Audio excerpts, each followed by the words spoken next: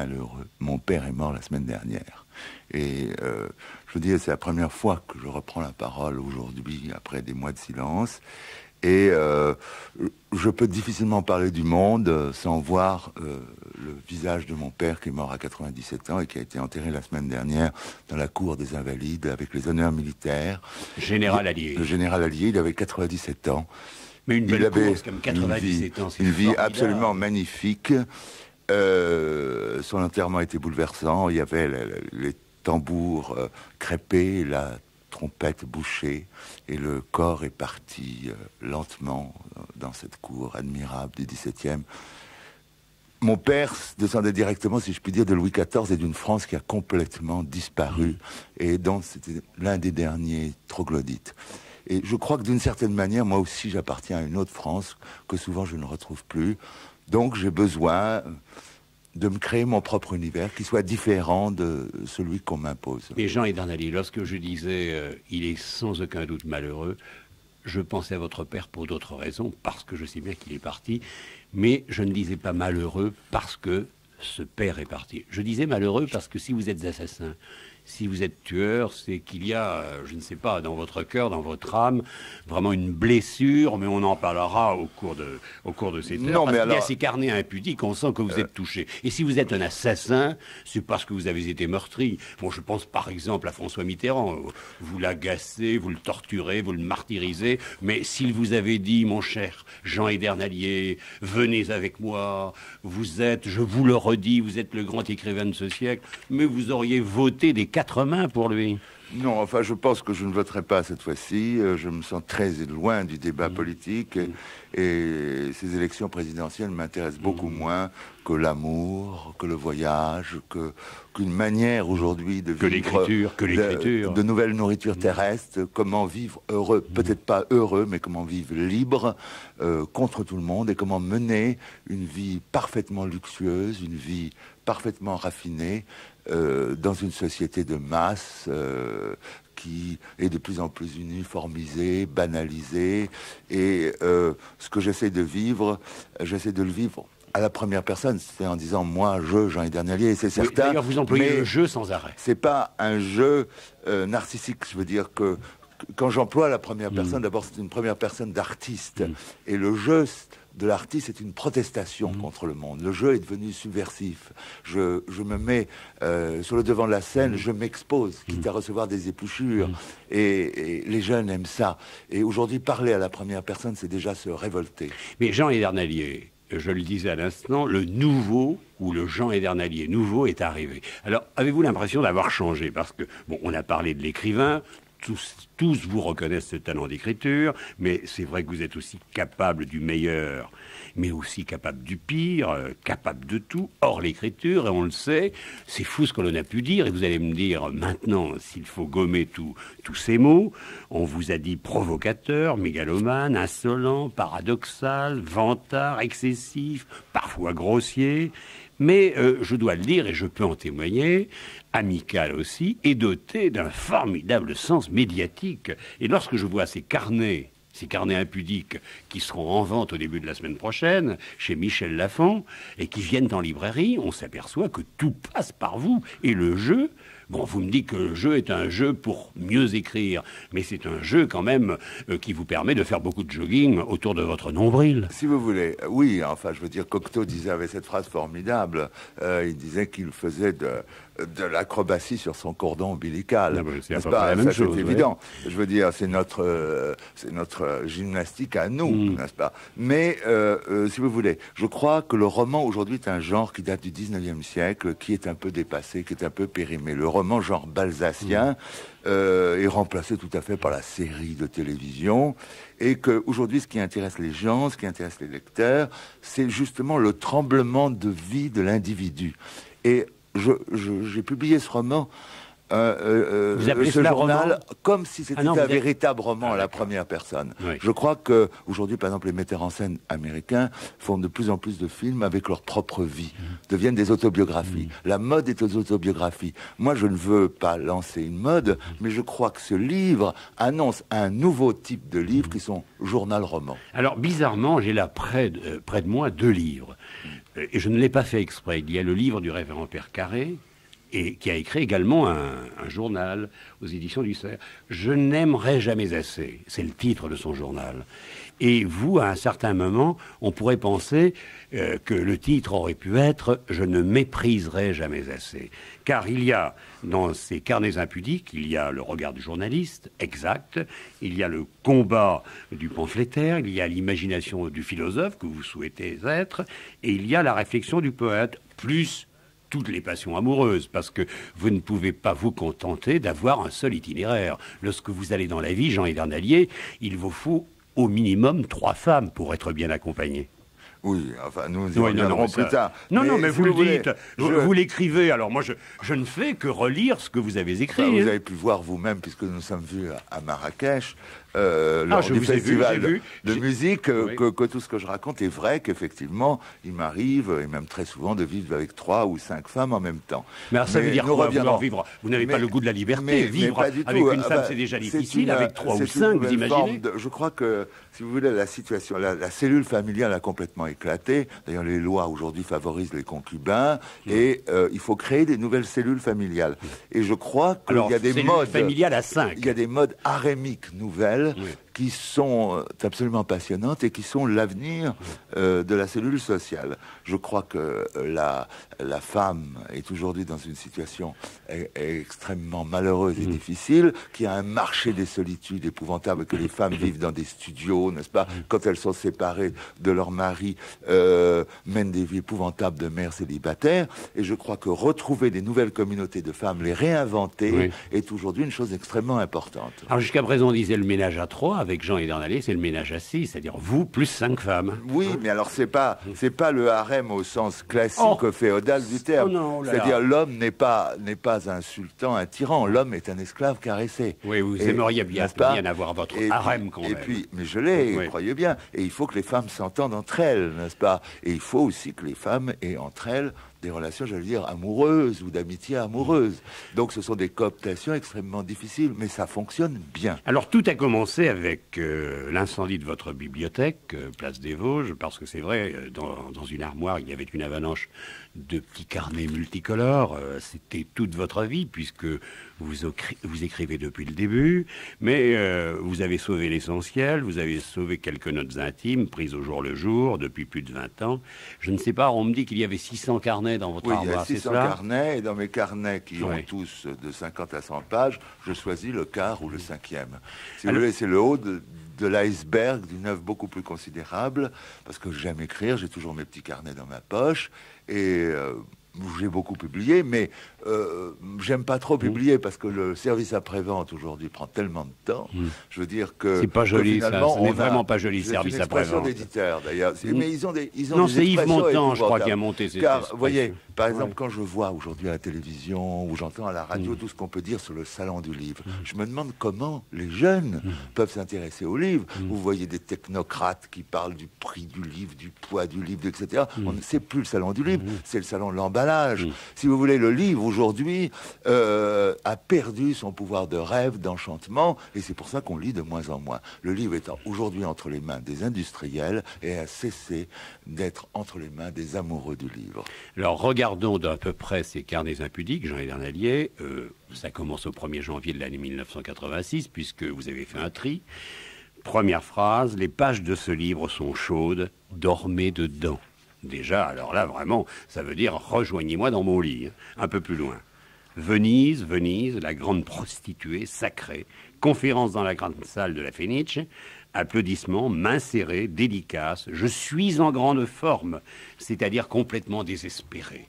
C'est-à-dire que vous voulez faire passer à tout prix Jean Edernalier par la désespérance. Je crois que, à la vérité, vous souhaitez surtout être un maudit ou être compris comme un maudit. Mais Seuls les maudits ont triomphé dans l'histoire de la littérature, ça c'est vrai. Oui, mais les maudits ont triomphé après leur mort, et ça, je trouve ça très embêtant. Euh, je veux dire, Rimbaud a triomphé après sa mort, l'autre amant aussi.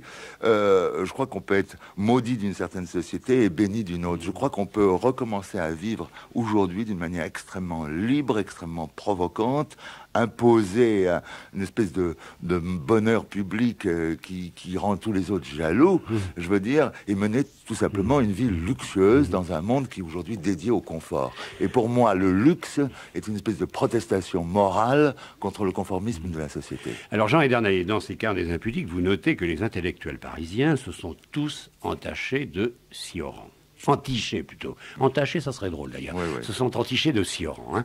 Et vous ne regrettez qu'une chose, c'est qu'ils le découvrent aujourd'hui. Euh, moi, je suis un tout petit peu désolé. Euh, on se connaît depuis combien de temps Ah, 20 ans peut-être. Bon, eh bien, lorsque nous sommes connus, vous ne connaissiez pas Sioran. Hmm. Non, non, je ne sais pas. Je me demande à quel moment vous l'avez connu. Même Marguerite Yourcenar, vous en parlez. Vous parlez de Georges-Louis Borges. Vous, ne les connaissiez pas à ce moment-là. Alors, attendez. Lorsque nous débarquions, lorsque moi je débarquais de Buenos vous, vous, me disiez qui, est Borges? bon, Vous me l'avez dit à moi. Jacques, j'ai publié avec Dominique Deroux les cahiers de Lerne sur Borges en 1962 et j'ai été le premier, après Roger Caillois, qui a été le premier à le publier dans les, la Croix Roger Caillois qui m'a présenté J'ai été le premier à sortir. Je dirigeais les cahiers de Lerne avec Dominique Deroux. Et là, j'ai publié Borges et je suis allé rendre visite à Borges, qui a même habité chez moi pendant 15 jours en 1962. Quant à Sioran, je l'ai connu comme jeune lecteur aux éditions Plomb. Il habitait 62, déjà 72, là, vous 62, 62 jeune lecteur aux éditions Plomb, et euh, je le voyais très souvent, et nous lisions, Philippe Solers et moi, euh, le précis de décomposition à haute voix dans, nos conversations euh, intimes avec nos autres camarades, à l'heure où nous formions, fondions tel quel. Et d'ailleurs, dans le premier numéro de tel quel en 1960, il y a un texte de Sioran. la troisième personne dont vous parliez, euh, était quel écrivain? Non, j'ai parlé de Marguerite Yourcenar. Alors Marguerite Yourcenar, euh, j'ai jamais, euh, j'ai jamais beaucoup défendu Marguerite Yourcenar. Bon, j'avais lu ses, livres comme tout le monde depuis très longtemps, mais je ne partage pas l'idée largement répandue sur laquelle elle était un très grand écrivain. Alors je lis Jean, Jean ouais. ce que vous écrivez. Il faut lire Sioran à 14 ans après son premier chagrin d'amour. Et un peu plus loin, cet homme qui comptera probablement parmi les classiques du 21e siècle est pratiquement aussi inconnu à Castelnaudary, ce qui est très grave, que dans les dîners en ville des énarques, ce qu'il est moins vu que ces gens, les nouveaux primaires, imbus de technocratie et de sous-culture journalistique, sont parfaitement incultes. Donc attaque, euh, attaque des énarques, ce qui ne dérange personne. Et pourquoi euh, Castelnaudary tout d'un coup comme ça? Parce que euh, Sioran... Vous connaissez bien Castelnaudary euh, Je connais pas Castelnaudary, mais Sioran, c'est un, peu, faire, un peu, si vous voulez, le pouvoir de Sioran est un peu le même pouvoir de lecture que Nietzsche. Mm. C'est quelqu'un qui, euh, en le lisant, par, euh, par sa violence, par euh, sa drôlerie, en même temps et par son désespoir profond, est complètement roboratif. C'est vraiment, c'est Popeye, c'est une sorte de Popeye de l'intelligence, on a l'impression d'avoir du spinach. Et on voit le jeune homme boutonneux, désespéré, eh ben, il vaut mieux qu'il lise Sioran que quelque chose d'autre, ou qu'il prenne des médicaments ou des drogues. Alors ce qui est euh, paradoxal chez vous, c'est ce goût que vous avez de ce qu'on disait tout à l'heure, être maudit. J'aimerais tellement être maudit. Vous croyez que vous êtes sans arrêt persécuté. si ces petites phrases, ce que Mitterrand ne supporte pas, c'est qu'on puisse revoir mon visage à la télévision, écrivez-vous.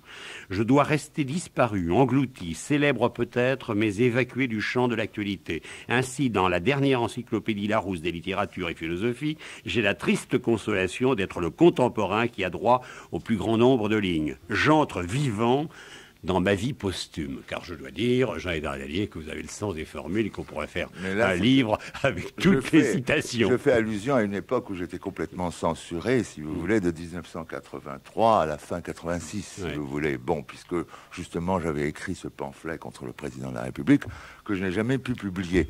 Mais je suis content d'avoir cette relation avec le président de la République. Je suis content d'être brouillé avec lui. Mm. Je veux dire, parce que, si vous voulez, cette épreuve m'a, je veux dire, m'a frappé au moment où j'étais euh, le plus célèbre, le plus reconnu et le plus estimé des gens, et j'ai eu besoin de cette traversée du désert pour me reprendre et recommencer à travailler. Donc vous pensez vraiment que vous avez été le plus célèbre, le plus reconnu et le plus estimé Jusque vers les années 81, oui, j'étais beaucoup plus reconnu que maintenant, et maintenant je reviens. Mais j'avais besoin de ces cinq ans de traversée du désert, vraiment, j'en avais besoin pour écrire, pour travailler, pour ne pas répéter les mêmes choses, pour me ressourcer, pour employer employer cette expression épouvantable. Et je crois que tout artiste véritable a besoin d'une traversée du désert. Donc, Mitterrand, pour moi, a été quelqu'un d'extrêmement utile. J'aurais été ministre de la Culture, oui, j'aurais peut-être pu l'être. Vous auriez voulu. Euh, vous auriez voulu. Je crois je crois que ça m'aurait fait le plus grand mal. Ce que je voudrais être, c'est parfois, de temps en temps, à la télévision ou ailleurs, le ministre de l'imagination. Hmm. Mais pourquoi vous ne l'êtes pas? Vous avez souhaité faire une émission, une émission littéraire, vous ne l'avez jamais produit, vous ne l'avez jamais réalisé. Vous n'avez que des rêves, Jean Hiderdalier. Mais il y a des phrases qui sont superbes. Alors je vous dis encore celle-ci, elle est de vous. Les médias ne donnent à un être que le droit d'être son apparence. Ah, c'est vrai. C'est ce que j'appelle euh, les escrocs médiatiques. Je veux dire, le propre de l'escroc, justement, c'est l'apparence de l'honnêteté. L'escroquerie, euh, c'est l'escroquerie en termes juridiques, dans le Dalloz même, qui est le manuel juridique, c'est c'est le malfaiteur des apparences. Alors c'est assez drôle de voir que des gens comme Bernard Tapie, que des gens comme Sulitzer, qui n'a pas écrit ses livres, des gens comme ça, sont très souvent les, héros privilégiés du système médiatique, parce que c'est le monde des apparences. En vitrine. Alors, moi je regarde maintenant l'éditeur. Il s'appelle Michel Lafon. Et vous avez encore changé d'éditeur, Jean Bernalier je dois, reconnaître que vous n'êtes pas très fidèle. Personne ne voulait de vos carnets impudiques ou simplement vous êtes trop capricieux. D'ailleurs, vous le dites, je suis capricieux. J'ai rencontré Michel Lafon. J'ai rencontré Michel Lafon et il m'a plu. Euh, le rapport humain euh, avec les êtres a pour moi énormément d'importance. Je pense que Michel Lafon a compris l'édition moderne comme autrefois Gaston Gallimard avait compris l'édition moderne. En faisant de la publicité sur les colonnes Maurice, euh, il a choqué et scandalisé toutes les librairies de l'époque. Michel Lafon a inventé un type d'édition populaire très vaste qui lui permet aujourd'hui d'ouvrir un nouveau secteur où il prend la littérature et les choses de qualité. Et je suis, si je puis dire, le, le brise-glace mm. d'une expérience nouvelle qui va probablement s'appeler Lafont Chimère. Alors il faut quand même avoir euh, une sorte de talent, un grand talent, une reconnaissance de, de son propre talent pour oser écrire ce que je vais maintenant lire et qui est de vous. Jean Edernalier. Mon existence est arrangée parmi les cataclysmes naturels, sauf qu'il s'agit en l'occurrence d'un phénomène à la fois singulier, infime et universel.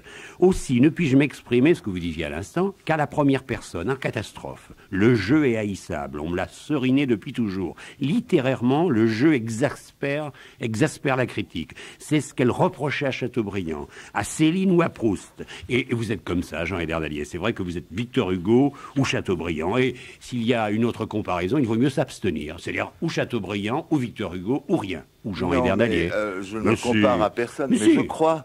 Il n'y a que ça dans ce livre. Je crois que tous les grands écrivains sont exprimés à la première personne. Euh, je veux dire, vous, vous avez ça aussi avec Montaigne. Je veux dire, la, la, littérature française est profondément égotiste. C'est plus facile de passer par le jeu. Je veux dire, euh, ce que la bourgeoisie, la bourgeoisie, je ne parle pas comme Arlette Laguillet, mais hmm. ce que les tartuffes modernes, si je puis hmm. dire, reprochent aux, écrivains, c'est euh, de ne pas être des modestes mignons hmm. de, de Lyon, de Carpentras, qui arrivent avec leur petit costard bien gentil et, qui, au fond, euh, sont bouffis de vanité, mais ne le montrent pas. Pourquoi parlez-vous comme ça d'Arlette Laguillet? Vous ne partiriez pas avec elle pour les îles du Levant Non, mais alors justement, Arlette Laguillet, je, je, la voyais ce matin à la télévision. Je la trouvais, je me disais, au fond, elle dit des choses très justes, mais elle le dit dans un au fond, je pense la même chose qu'elle, mm. mais elle le dit dans un langage tellement archaïque, tellement mm. dépassé, que ça ne passe plus. Mm. Et je crois que, si vous voulez, dans l'édition, Michel Lafon a trouvé des formes modernes d'édition. Je crois que mon discours passe aussi parce que c'est un discours parfaitement actuel et contemporain que la jeunesse sent et qui est un discours en même temps de tous les âges parce que c'est un discours classique mais votre... et c'est pas un discours de mode. Mais votre force, Jean Edernalier, c'est que euh, l'année prochaine ou même peut-être à la fin de l'année, lorsque vous vous serez publié par Gallimard, vous direz je suis pas publié par Gallimard, et c'est maintenant Antoine Gallimard qui a pris la présidence de cette affaire et c'est tellement formidable de travailler avec un jeune qui reprend une vieille affaire. C'est vrai, vous avez le goût de la vous savez vous adapter. Euh, si vous voulez, bon, alors là, vous allez me dire qu'encore que je suis très vaniteux, mais en fait, je ne fais que suivre des modèles. effectivement, les, grands brouillés avec Gallimard sont les, probablement les deux plus grands écrivains du XXe siècle, c'est-à-dire Proust et, c'est-à-dire Céline. Et malheureusement, mm. Antoine Gallimard, que je connais très bien, n'a pas le talent de son grand-père Gaston.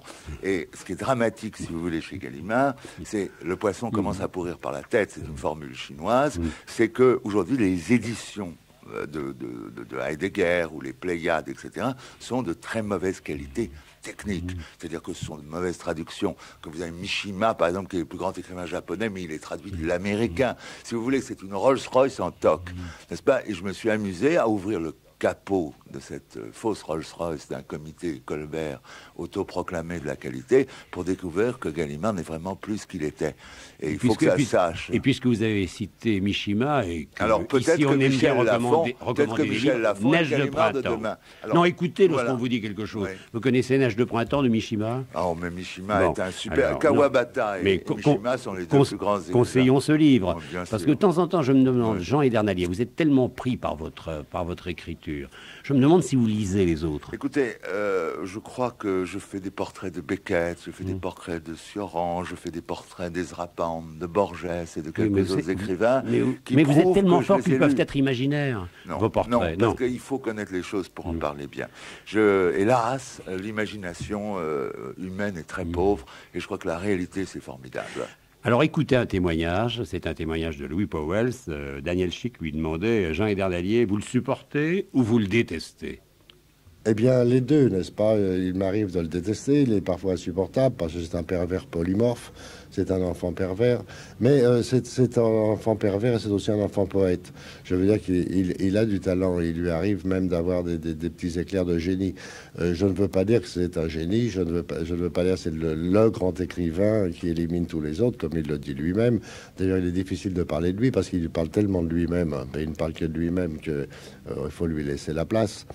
Euh, mais enfin, je le crois capable de gratter des allumettes dans un tunnel et de faire de ces jolies petites lumières.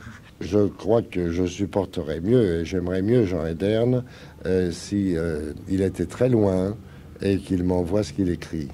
je crois que son, son, talent, il n'est pas comme il le croit dans sa vie, il n'est pas dans ses mots, il n'est pas dans ses relations, qui sont parfois insupportables, il est dans ce qu'il écrit il est quand même, il est quand même dans la, il a quand même un statut de poète.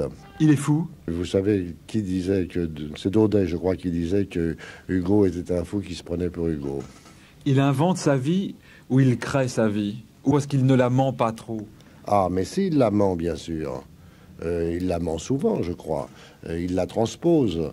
Il, fait, il fait de sa vie un, sujet, de, un sujet artistique mais je crois qu'il l'invente beaucoup. Oui. Louis Powell, ça a raison, insupportable. Euh, Jean Edernalier, insupportable.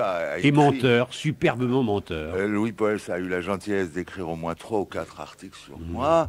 Et ce qu'il écrit, euh, ce qu'il a écrit la dernière fois, c'est que mon roman L'Évangile du fou dominait de très haut et de très loin mon époque. Mhm. Donc je ne serai jamais aussi vaniteux que Louis Porels euh, euh, ne me fera d'éloge. Alors, je vais vous dire que votre vanité est le sens même de votre humilité. C'est pas de la vanité. C'est pas non, j'ai rarement vu chose pareille chez quelqu'un. C'est pas de la vanité. Nous retrouvons le malheur, si vous voulez. L'homme blessé dit, c'est là, c'est dans mon journal, c'est dans mes carnets impudiques. L'homme blessé dit, la meilleure manière d'exaspérer les cons, c'est de feindre d'être vaniteux. si vous voulez, c'est une position un peu baroque, c'est une position de fou de Dieu. Euh, euh, je ne suis pas du tout vaniteux, je suis extrêmement euh, humble dans le fond de moi-même, extrêmement timide, extrêmement incertain, extrêmement blessé, angoissé.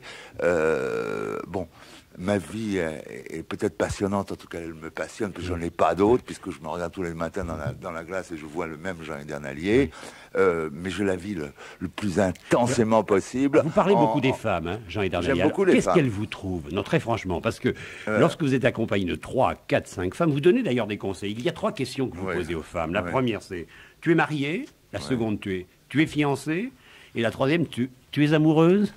À eh ben, laquelle faut-il répondre eh ben, Écoutez, hein euh, je ne crois pas du tout être un séducteur au hmm. sens où on l'entend, euh, au sens de Casanova ou Don Juan, n'est-ce hmm. pas?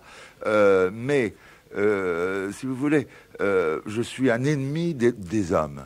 Je suis un collabo des femmes, si je puis dire. C'est-à-dire que je, je- je suis dans le camp des femmes, dans leur guerre contre les hommes. Et si vous voulez, et je suis que vous resté- en avez plusieurs à Et je fois. suis resté un révolutionnaire. Euh, nous sommes à la veille du 20e anniversaire de mai 68. Tous mes copains de mai 68 sont aujourd'hui des, des bourgeois ravalés et sérieux. Et moi, si vous voulez, dans l'amour, je trouve, ou dans le choc amoureux, je trouve la même subversion révolutionnaire que dans les grandes émeutes de mai 68. Sauf que ce sont des émeutes intimes et que le retour de l'amour aujourd'hui me paraît très socialement extrêmement important. C'est-à-dire que euh, le re- si je fais une digression, je vous dirais que la, euh, euh, la- le Moyen Âge a fini avec euh, l'amour courtois, qui était une grande révolution amoureuse. Elle a été précédée par l'é- l'écroulement de l'empire bancaire des Templiers. Puis est arrivé la, la- l'amour courtois. Puis est arrivée la Renaissance. La Révolution française a été pareil. Il y a eu la banqueroute de l'or. Puis vous avez eu une grande explosion amoureuse qu'on a oubliée, qui a précédé la Révolution française. Puis vous avez eu la prise de pouvoir de la bourgeoisie. De même, euh, aujourd'hui, vous avez l'histoire un- d'amour que vous me faites, vous hein. avez un écroulement, si vous voulez, du, du monde financier, un écroulement de la bourse. Et ça me rappelle complètement la création de la bourse. La bourse a commencé en Hollande 30 au XVIe siècle et euh, elle a commencé tout simplement sur euh, sur les tulipes parce que les femmes aimaient les tulipes et la première bourse au monde s'est appelée la tulipomanie et la femme euh, et l'argent d'ailleurs hollandais s'appelle le florin et les femmes les, les banquiers séduisaient les femmes avec des fleurs n'est-ce pas? Oui. et aujourd'hui nous nous trouvons dans une situation où le euh, où le fric de- est devenu tellement abstrait qu'il s'écroule. Et les femmes arrivent comme monnaie vivante. Vous Alors êtes- je m'intéresse aux monnaies vivantes que sont les femmes? Vous avez réussi votre chute, il est 11h sur France Inter. N F O R U M un, un forum, un forum, un forum un forum. Jean Hivernalier, Carnets impudiques, euh, on poursuit la lecture. euh, ce livre paraîtra euh, la semaine prochaine, euh, tiré, paraît-il, à 80 000 exemplaires, très gros tirage. Alors, on revient sur les femmes ou Oui, on écoute... revenons sur les femmes. Non, on, pourrait peut-être un, un peu de musique, non Nous entendons la- nous venons d'entendre parler d'argent, de monnaie. oui. Eh bien, euh, Baudelaire parlait de la marchandise absolue. Eh bien, la femme, dans les moments d'écroulement financier, c'est l'or du temps. C'est la vraie valeur. Et nous assistons à un phénomène de société mondiale absolument extraordinaire, c'est-à-dire le basculement du pouvoir des pays occidentaux vers l'Asie. L'homme bridé est en train de prendre le pouvoir partout, et c'est un phénomène formidable. Mais ces femmes, parce qu'elles vous occupent beaucoup, elles vous écrivent toujours, elles sonnent encore à votre porte, elles vous traquent. Que vous veulent-elles? Parce que vous parlez d'une femme, hein, Ben, J'en plus, sais plus rien. que d'autres. Elle, Oui, eux, elle. oui. Bon, on sent qu'il s'agit d'Elisabeth. Vous pensez qu'elle sera contente de, ce- de tout ce que vous écrivez? Il est, il est impossible vraiment d'avoir une relation avec vous. Car dès lors qu'on a une relation avec vous, qu'une femme s'installe dans votre vie, vous, vous l'installez dans vos pages. Est-ce que vous croyez que là, il y a un peu de discrétion? Est-ce que vous croyez que la pudeur fait encore partie de votre vie? Alors, je crois qu'elle a écrit, elle aussi, euh, des pages et des pages euh, sur son aventure avec moi. Ah bon, parce que c'est un écrivain, alors. bon, et euh, dans ce livre, il y a trois femmes principales. Il y a elle, il y a Isabelle, qui est une charmante jeune fille de 18 ans, qui est tombée directement des couvents, du couvent des oiseaux dans mes bras. Oui. Et une troisième qui s'appelle Alice. Vous étiez à la sortie du couvent des oiseaux Oui, oui, je suis allé la chercher en, euh, une ou deux fois avec une, avec une Bentley 1960 qui appartient à Maurice Biderman. Et c'était absolument merveilleux de l'emmener. C'était le carrosse de Cendrillon, si je puis dire. Alors, ces trois femmes traversent ce livre tout le temps. Enfin, je quitte l'une pour retrouver l'autre, ou je pars avec les trois filles en même temps, et puis il y a d'autres filles autour. Et elles, ce sont trois caractères extrêmement différents, mais trois caractères totalement modernes. Écoutez, Jean Hidernalier, vous en parlez tellement de toutes ces femmes qu'à certains moments, on peut se demander si vous les honorez. Vous en parlez plus peut-être que... euh, je ne sais pas, c'est une Bah, question que je me pas, pose. hein. j'ai pas à répondre à cette question, Non, non. mais j'ai jamais prétendu à être un, euh, un monstre de, de puissance Non, vous n'êtes sur qu'un ce plan-là. Euh, non, non, je suis pas un séducteur du tout. Je veux dire, au contraire, la vie en harem a ceci de commode, c'est qu'au lieu de partir en week-end avec une fille avec qui vous faites l'amour le temps qu'il faut, ensuite vous vous regardez dans le blanc des yeux, vous savez pas quoi vous dire, vous reparlez, etc., etc. Parce que quand les femmes sont entre elles, il y a une espèce de gazouillement adorable. Elles peuvent s'aimer physiquement. Vous, vous restez tranquille. Vous, la, la vie avec plusieurs femmes vous permet de garder votre solitude de poète et d'écrivain et Je n'avais pas pensé à ce que vous venez de Et, dire. et c'est absolument merveilleux. Mais si à la vérité, vous êtes un voyeur. C'est-à-dire que vous n'avez pas du tout. Vous n'avez pas le poids sentimental, mélo, chiant de la relation seul à seul avec une fille. Mmh. D'une part. D'autre part, euh, mes capacités amoureuses, c'est pas à moi de les estimer. Mais j'imagine que si elles sont avec moi, c'est que parce que je ne les déçois pas trop. Bon, vous avez bien parlé des femmes. Maintenant, nous allons revenir à l'écriture, au roman. Vous avez été évincé quand même du Grand Prix euh, du roman. Et vous écrivez, furieux, les prix sont faits pour consoler les mauvais écrivains. Mais le jour où vous aurez un prix, vous ne le refuserez pas. Vous êtes à la quête d'un prix. Oui, vous oui. attendez. Ah, moi, j'adorerais avoir un prix, mais je, je n'ai jamais eu de prix. Je pense que je suis aujourd'hui l'écrivain français, et de loin le plus connu. Le plus reconnu dans la rue, en Hmm. Ah tout bon cas. Bon, et beaucoup plus connu, certainement au Japon, aux États-Unis ou dans les pays de langue espagnole qu'en France. Mais le petit monde littéraire. Vous n'avez pas besoin d'attaché de presse. Ce que j'appelle le petit personnel littéraire est un univers complètement sclérosé, complètement dépassé, n'est-ce pas? Et que les instances culturelles françaises sont terriblement en retard sur la Mmh. publicité, sur le commerce, et que nous assistons à un, phénomène de fin de civilisation avec la littérature. Je veux dire que ce sont vraiment les mauvais écrivains qui ont le pouvoir aujourd'hui en France. Alors, Heureusement pour- que je, je fais, je saute par-dessus les états-majors. Mmh. Alors ma technique, c'est vraiment de mépriser complètement ce petit monde littéraire, de ne pas aller au salon du livre, mais de. Ah, je vous n'irez pas au salon du bien livre, sûr que là, non. non. Bien je sûr veux que dire, non. je, je ne fréquente pas ces gens-là qui n'ont aucun intérêt, aucune culture, qui sont qui sont corrompus et petitement corrompus, Mmh. parce que si on est corrompu, moi je suis pour recevoir beaucoup, beaucoup d'argent, n'est-ce pas? Ah, ben vous sont- avez reçu. Vous des- racontez que Doumingue, un jour, est arrivé avec une liasse Ouais, de ouais. billets et vous a donné 100 000 francs. Mais si vous voulez, de la main à la main. Le moins, il m'a donné 50 000 francs. Mais j'ai Ah non, vous dites beaucoup 100 000 plus. francs, là. Mais non, mais Non, les- il faut savoir les- ce que vous écrivez, je Jean dis Edern. 50 000 francs. 100 000, Les- vous dites. Ah non, non, non, milliardaires- 100 000. Écoutez, je vais vous dire 100 une 000. chose, c'est que les milliardaires m'ont toujours entretenu comme euh, Fouquet entretenait La Fontaine. Ce sont des mécènes, quoi. Mmh. Et les milliardaires me comprennent beaucoup plus que les éditeurs, Oui. n'est-ce pas? Heureusement que cette fois-ci, j'ai un bon éditeur. Euh, vous payez, dans les principes de l'édernisme, je dis, vous payez oui, vous laissez acheter jamais. Oui. Je, je fais monter très très très très haut la barre euh, pour ne pas être corrompu avec des petites sommes. L'édernisme, vous l'avez dit. Jean Edern, c'est vraiment votre prénom? Parce que vraiment, Alors, vous êtes né avec les faits. Ederne, ça veut dire eternus en latin éternel. Non, mais c'est vraiment votre oui, oui, prénom, C'est le hein. nom de mon village en Oui. Bretagne qui s'appelle Ederne. Et euh, je trouve que l'édernisme euh, ressemble assez, si Mm. vous voulez, à, euh, je- à, à ce que j'essaie de vivre. Et, et, et j'ai pas choisi mon prénom, c'est lui qui m'a choisi. Mm. Alors j'essaye idiosyncratiquement, pour employer un mot assez abstrait, mais Oui, qui veut oui, dire ce qu'il tout veut à fait dire? d'accord. idiosyncratiquement. Oui. D'ailleurs, mon grand livre, c'est l'idiot de. J'ai appelé mon journal l'idiot international à l'époque. Et l'idiosyncrasie, c'est le libre arbitre par opposition à la liberté bourgeoise euh, qui aboutit à l'individualisme. Et l'individualisme aboutit à devenir un chien de Pavlov qui salive à la publicité et aux réflexes conditionnés des médias. Euh. Vous êtes cet homme-là, alors? L'idiosacrasie, l'idios... Non, je fais Oh. saliser, Mais oui. je fais saliver Mais- mais- un certain nombre de gens, mais je ne salive jamais moi-même. si Pourquoi vous êtes-vous voulez. si méprisant à l'égard, par exemple, de Marguerite Duras? Il ne fait aucun doute que la Duras, avec son côté mémé lady, ses grands châles laineux, son visage de batracien d'élite, son regard lent. Mais comment peut-on écrire cela? Batracien, Pour dire d'une femme, euh, enfin Pour moi, euh, Marguerite Duras, c'est un phénomène de soci- Ce n'est pas convenable.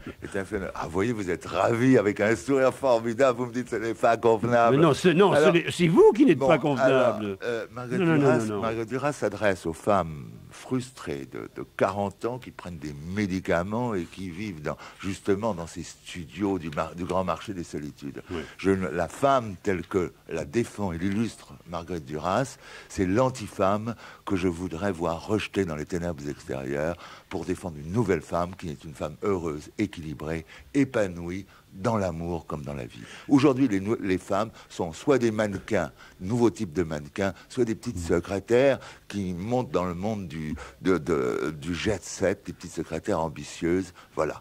Et je voudrais qu'on retrouve la femme éternelle, la grande femme surréaliste, la grande femme cultivée, la Léonore Fini, toutes ces femmes de la grande époque qui étaient très supérieures aux hommes.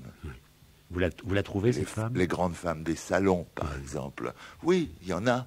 Et je crois qu'elles vont revenir. Des femmes, les femmes qui, qui, qui- qui ont vraiment le pouvoir. Mais Jean Edernalier, Jean Edernalier, tout à l'heure, je disais que vous n'étiez pas fréquentable. Il ne faut pas être de vos amis, puisque vos amis, vous les assassinez.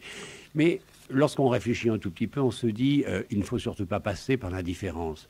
Vous estimez que dès lors que vous parlez de quelqu'un, vous, lui avez déjà rendu hommage, même si euh, vous le tuez à coups de petites fléchettes. Écoutez, Hein j'ai pas des rapports commerçants avec les gens. Commerciaux, Voilà. oui. Je n'ai, je n'ai pas des rapports de troc. J'ai des rapports de passion. Mm. Pour moi, l'amitié a énormément d'importance et l'amour a de l'importance. Et l'amitié comporte évidemment des brouilles, des réconciliations, des rebrouilles. Mais je vous donne l'exemple d'un de mes meilleurs amis, qui est Philippe Solers. Bien, nous ne nous sommes pas parlé pendant dix ans. Nous nous sommes brouillés dix fois. Je veux dire, mais ça prouve que nous tenons l'un à l'autre, nous tenons à la rigueur et à l'exigence de nos relations. Mais Philippe Soler, c'est vous, c'est très chic. Vous vous dites tu toujours? Non, nous nous vous voyons depuis Ah, toujours et nous nous voyons trois ou quatre fois par semaine, Oui. de 7 à 8 à, à Ouais. 9 à la closerie des Lilas Oui. et nous avons des conversations euh, euh, frénétiques et endiablées. Mon pauvre Solers, lui dis-je, une fois de plus en retard, le sexe c'est fini, complètement rétro, voilà ce que vous lui dites. Euh, Ah, vos conversations bah, sont- bien elles sont superbes, vos Ah, conversations. C'est-à-dire que la, vie Hein libertine que, Mmh. telle que la défense solaire ne ressemble pas à celle que je vis C'est moi. un bon écrivain, Solers. Solaire, c'est un des êtres euh, les plus véritablement cultivés de la littérature française. C'est un remarquable essayiste, un critique d'art de premier ordre. Je suis plus réservé sur le romancier. Mais si vous voulez, la culture, c'est ce la véritable culture, c'est ce qui fait la différence des individus. En chanson, par exemple, Gainsbourg me paraît supérieur à tous les autres parce qu'il a derrière un fond de culture classique. En politique, les deux hommes qui dominent le débat sont Mitterrand et Le Pen, parce que ce sont des grands classiques par derrière. Et pourquoi les Japonais empor- l'emportent sur le plan des affaires dans le marché mondial? C'est parce qu'ils ont deux cultures, une culture classique dont ils ne parlent jamais, mais qu'ils n'ont jamais détruite.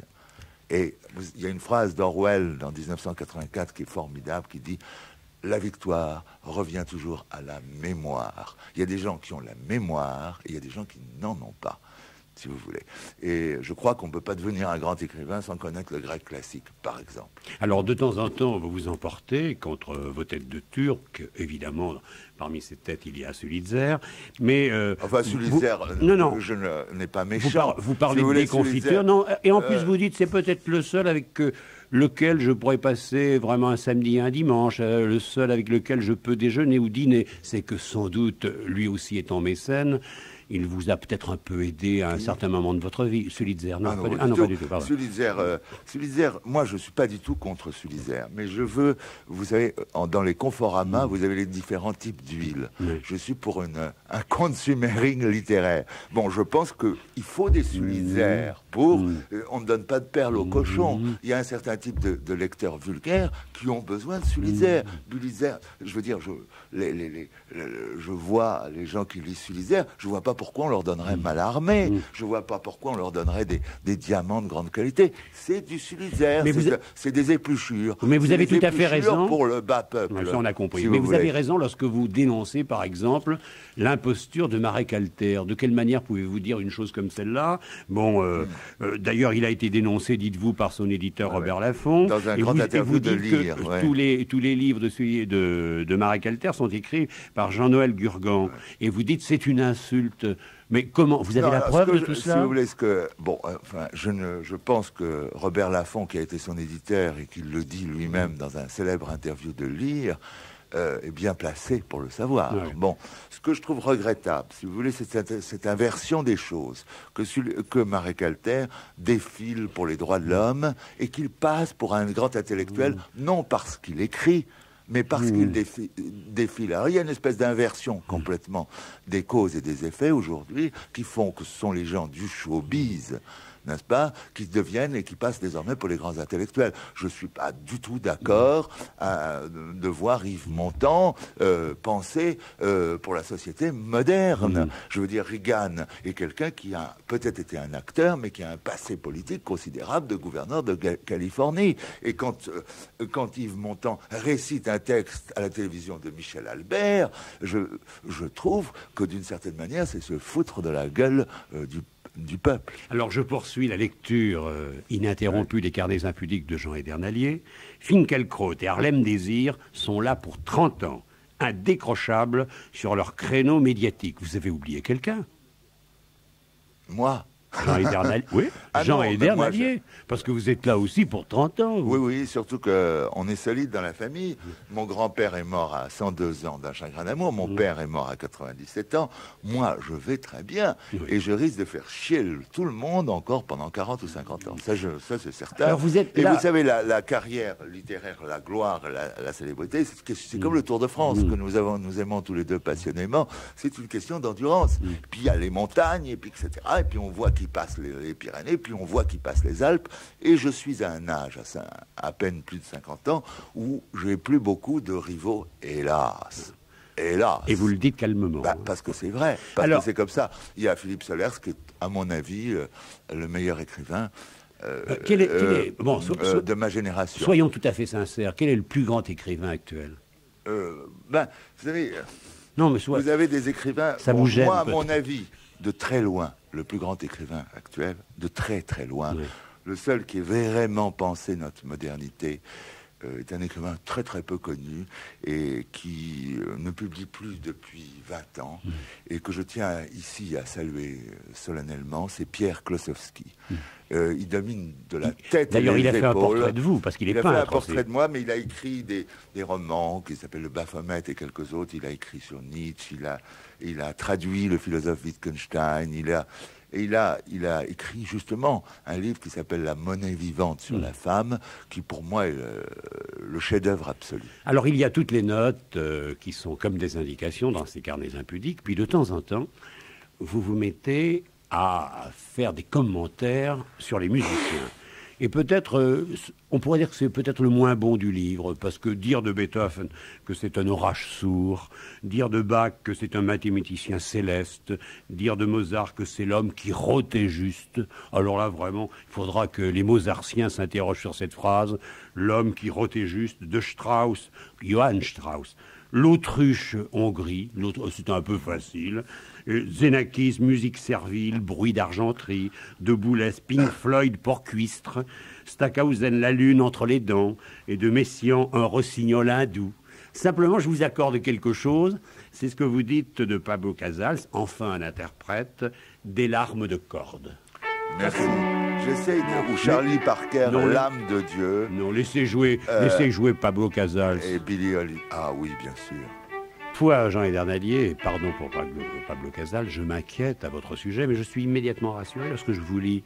Euh, même si les observateurs ne sont pas d'accord, je trouve ma vie exemplaire. Et vous poursuivez 50 ans plus un. Je suis dans la plénitude de l'âge, du talent, de la séduction et du sexe. C'est presque comme une carte de visite. Quoi. Euh, Oui, vous pourriez, alors- pourriez indiquer ça sur une petite feuille. bleue. Vous voyez, vous pourriez Mais- comme ça le tendre dans vos différents voyages. Alors, si vous Hein voulez, c'est un. euh, C'est quoi Si vous voulez, c'est un bon, c'est un anniversaire euh, où effectivement euh, j'explique mes qualités qui sont effectivement innombrables. Et euh, j'explique que je chose du 46, que j'explique que, euh, des tas d'autres choses, j'explique que, j'ai les épaules larges, le ventre plat ou presque, une grande force physique, euh, de déménageur, de meubles, de poids lourd de la pensée, mais je termine en disant ceci.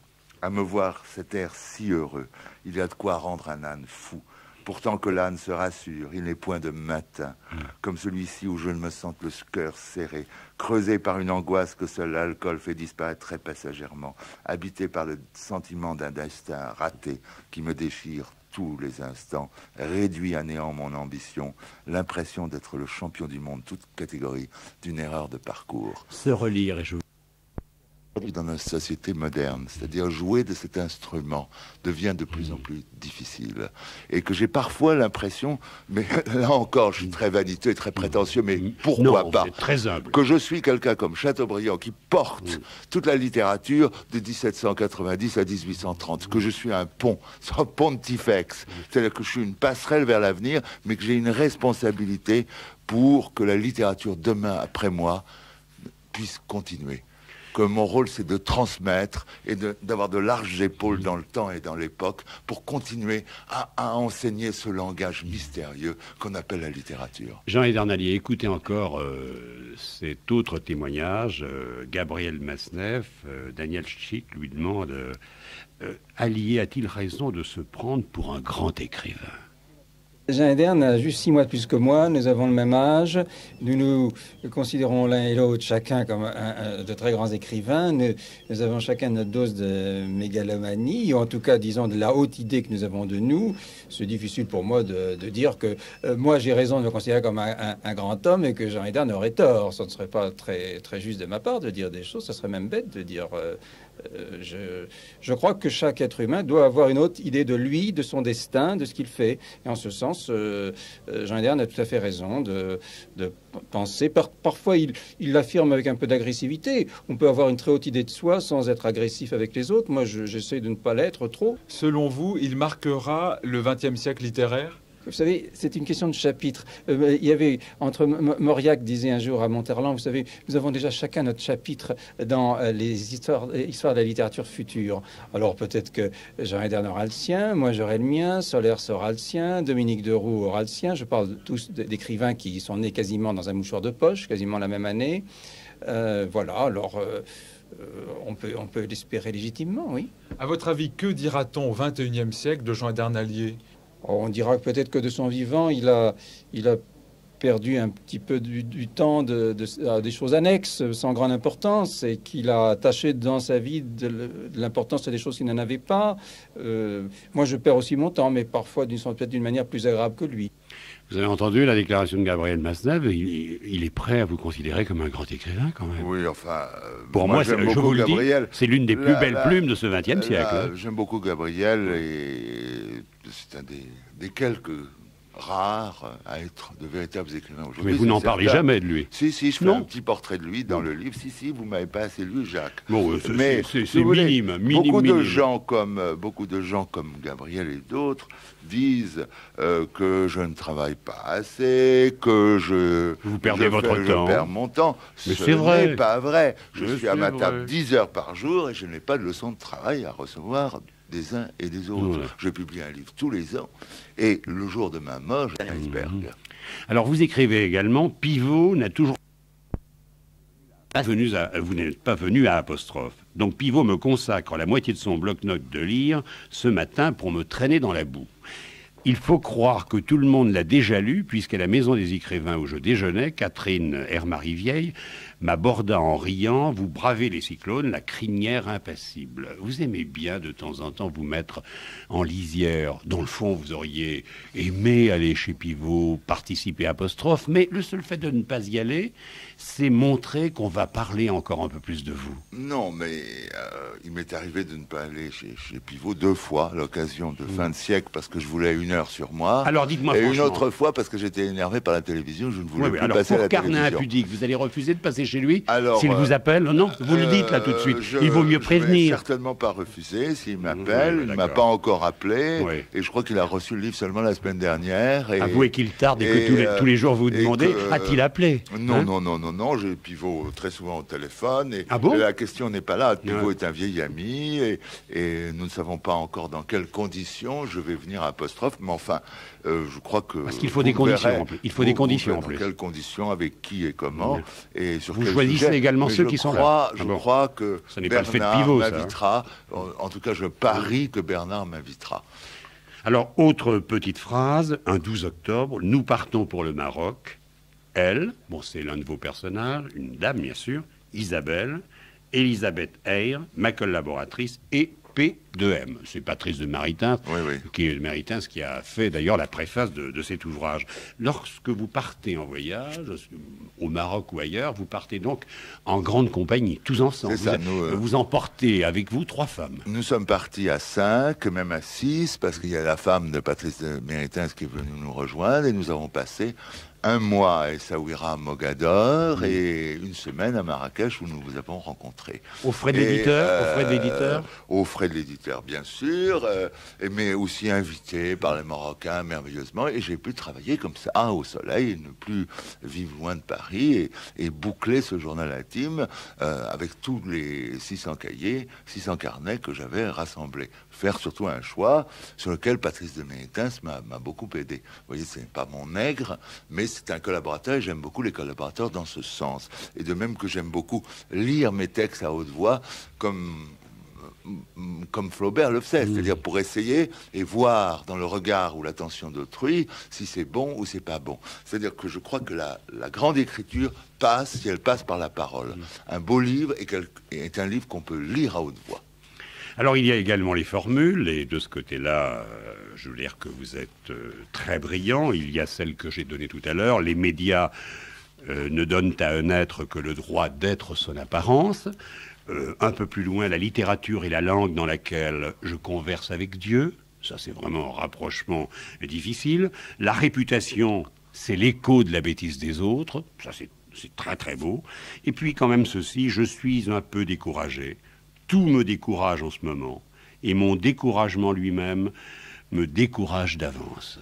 Alors êtes-vous découragé? Je suis découragé, puis plein d'enthousiasme, et puis je tombe et je remonte, et puis je suis le, le phénix qui renaît de ses cendres, et puis je m'incendie moi-même, et, et puis je me, me jette comme un projectile dans la réalité, comme un kamikaze de l'absolu, et puis je tiens le coup quand même, et puis surtout je ne suis pas aigri. Euh, je crois que ce qui fait vieillir, c'est l'aigrissement. Alors je sais que la vie euh, d'un écrivain est un échec. Nous sommes des professionnels de l'échec d'une certaine manière, et, et l'échec est pour moi beaucoup plus fort et beaucoup plus important, me donne beaucoup plus de force que la réussite où je m'endors. Mais je vais vous donner les derniers principes de l'édernisme, et qui sont finalement résument tout ce que je suis.